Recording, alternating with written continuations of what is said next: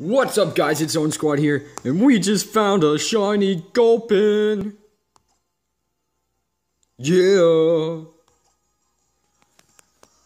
So, I want to pause the video because I only have a minute 19. So, I'll pause it until I get to the last two, and then I'll re start recording again, okay?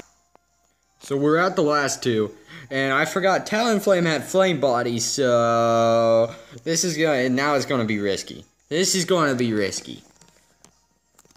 I'm glad the Flame Body actually activated, because now I, I knew which one was which. So it's a male Gulpin. So we found a male. See, it's draining, so it'd probably be easier to catch. Okay, I'm to pause it real quick because I don't want to end this video.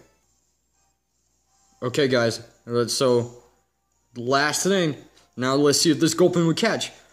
And guys, I, somebody stole my other SD card, whatever, for my tablet and had all my stuff on it like all shiny reactions. There's only nine minutes. So guys, this is going to be captured. It's going to be caught no matter what. Like, comment, subscribe.